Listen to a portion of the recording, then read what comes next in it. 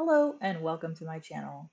Did you know that you can use the search feature within Photoshop to navigate to a specific layer as long as you have labeled it properly in a folder or the layer itself.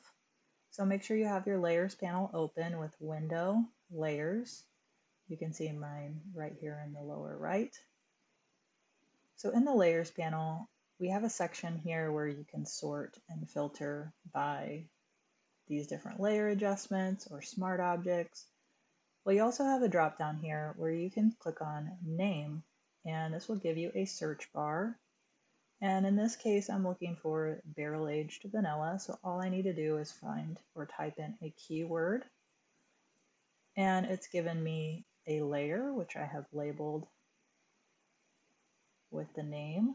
And it also has a folder now, if I click on one of these layers and turn off the filter, I'll be able to see that within my layers panel, it'll be highlighted now.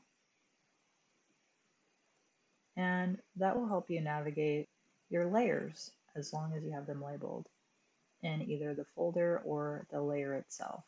I hope this video helped you out. If it did, please like the video and subscribe. Thanks for watching. See you next time.